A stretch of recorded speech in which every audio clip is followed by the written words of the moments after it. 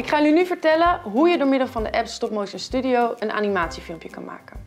En wat is stop motion eigenlijk? Stop motion is een animatietechniek waarbij je iets wat niet leeft of niet beweegt, dus bijvoorbeeld een poppetje van papier of een speelgoedpoppetje of iets anders, kan laten bewegen. Dat doe je door elke keer een foto te maken van het figuurtje, dan het figuurtje een klein beetje bewegen, dan weer een foto, dan weer bewegen, dan weer een foto, dan weer bewegen, dan weer achter elkaar door.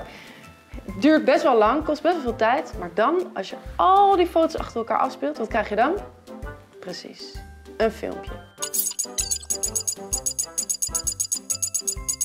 Ik ga jullie nu laten zien hoe je zo'n filmpje kan maken. Je kan op verschillende manieren een stop-motion filmpje maken. En niet iedere tablet heeft een standaard.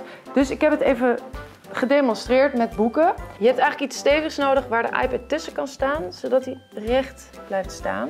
En check wel even goed of je jouw figuurtjes goed kan zien. Zo staat hij wel goed. Beetje omhoog.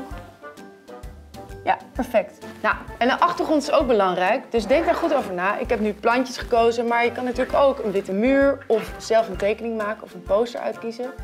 Dus wat wordt je achtergrond? Denk daar goed over na. In de doos kan je een klein leeuwtje uitknippen en knutselen en inkleuren.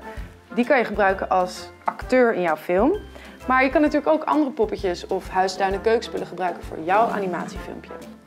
En de foto's kan je maken door op het rode knopje te drukken. Je hoort het ook. En dan beweeg je een figuurtje, een klein stapje, druk je weer op de rode knop.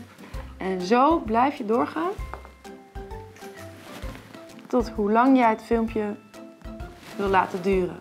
Maar je hebt best wel wat foto's nodig om een lang filmpje te maken. En ik heb nu een tip voor als je even niet meer weet waar je bent gebleven. Bijvoorbeeld stel deze valt nu om. Denk je, oh, waar stond hij nou ook alweer? Dan kan je met de overlay, zo heet het aan de zijkant, schuif je naar beneden doen. En dan zie je wat je vorige stap was. Dus dan kan je hem precies, als je een beetje in het midden houdt.